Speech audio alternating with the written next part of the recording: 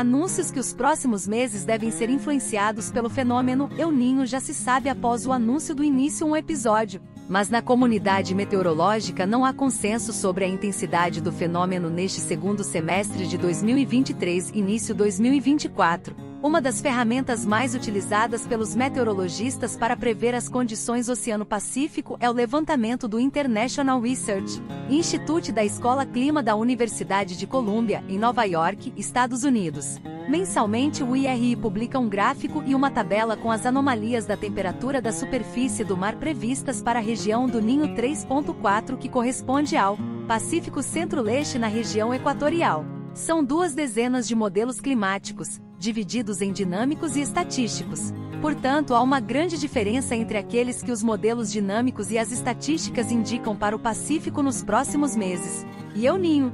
Vejamos o caso do último trimestre deste ano, que corresponde ao período de outubro a dezembro. A média dos modelos climáticos dinâmicos indica uma anomalia da temperatura da água do mar de 1,67 graus Celsius, logo El Ninho forte. Os modelos estatísticos médios apontam 0,44 graus Celsius, uma neutralidade quente sem El Ninho. Vários meteorologistas apontam que existem dois modelos de menor taxa que derrubam essa média dos modelos estatísticos e que, portanto, a dinâmica estaria mais próxima da realidade. O modelo estatístico BCC-RZDM da China e o IAP da Rússia projetam mais frio que a média. Sinaliza a anomalia de Laninha. O climatologista Gavin Schmidt, diretor do Goddard Space Studies da NASA, também é cauteloso sobre a possibilidade de um El Ninho intenso ou um Super El Ninho ainda este ano. A sabedoria convencional presta atenção nas previsões do IRI, mas as previsões dinâmicas projetam um El Ninho muito forte enquanto os modelos estatísticos são muito menos otimistas. A previsão de consenso divide a diferença para mais ou para menos, mas a diferença é bastante grande e observa. Ele propõe outro método de analogia histórica, usando simulações de modelos climáticos existentes. A ideia é examinar centenas anos de simulações e escolher os anos que mais se parecem com os hoje e prever usando a média do que aconteceu, explica.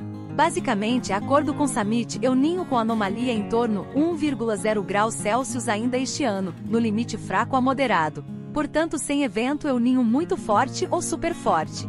A corrente oposta acredita em um El Ninho maior intensidade, sustenta dados atuais e não previstos. Indicam o aquecimento em curso está entre maiores observados entre oito eventos mais fortes desde 1950, sinalizando a probabilidade de evento maior intensidade na linha com indicam modelos dinâmicos. É o que, por exemplo, defende Tyler Stanfield, do Serviço Nacional de Meteorologia dos Estados Unidos. Estamos confortavelmente posicionados nos oito principais eventos do El Ninho desde 1950.